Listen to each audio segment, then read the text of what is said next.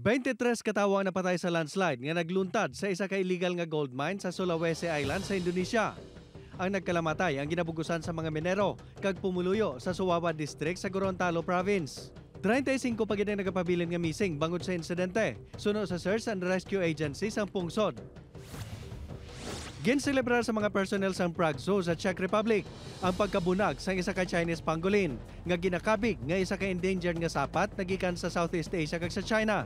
Bangod sa pagkaguba sa ngilistaran sa mga ini kag tungod man sang poaching, ang baby pangolin nga isa ka babayi ang ikaduha na nga nabunag sa among zoo.